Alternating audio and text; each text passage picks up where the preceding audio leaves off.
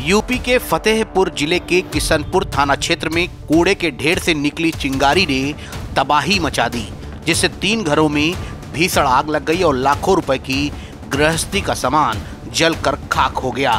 आग की लपटों को देखकर मौके पर पहुँचे ग्रामीणों ने इस घटना की सूचना स्थानीय पुलिस व फायर ब्रिगेड को दी, जिसके बाद मौके पर पहुँची पुलिस ने ग्रामीणों की मदद से काफ़ी मशक्कत के बाद आग पर काबू पाया, लेकिन तब तक एक महिला व तीन मवेशी जल गए और एक महिला सहित मवेशी की मौके पर दर्दनाक मौत हो गई। वहीं घटना के बाद पुलिस ने डेड बॉडी का पंचनामा करते हुए पोस्टमार्टम के लिए भेज दिया है।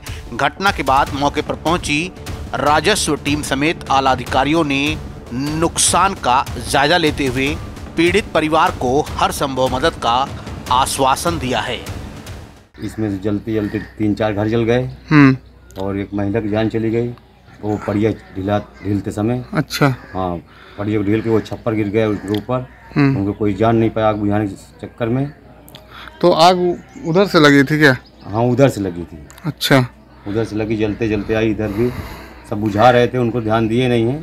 तो आप लोग आग बुझाने में बिज़ी थे? हाँ आग बुझा रहे थे बहुत पब्लिक और थी। और वो जो महिला जो जली है वो कहाँ पर थी? तो इधर थी।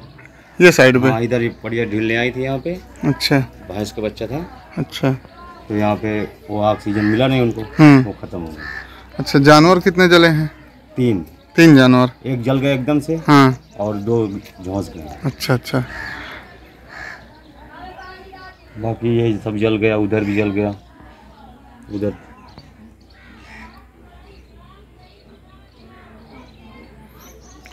फिर इसकी सूचना आपने किसको दी?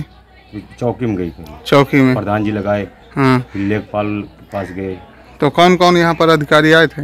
ये चौकी भी इंचार्ज आए हम्म। थाने से भी आए। हम्म। हाँ वो जिला क्या नाम है? एस डी एम साहब। एस डी एम साहब भी आए। अच्छा। लेखपाल भी आए। अच्छा अच्छा। और पत्रकार भी आए। अच्छा। तो बॉडी अभी कहाँ है? बॉडी चली गई। ग्राम गदौरा थाना किशनपुर में अ, के तीन घरों में आग लग गई जिसमें गुड़िया अ, के मकान की छ, की छप्पर के नीचे तीन भैंसें बंधी थी उसको खोलने के लिए गई।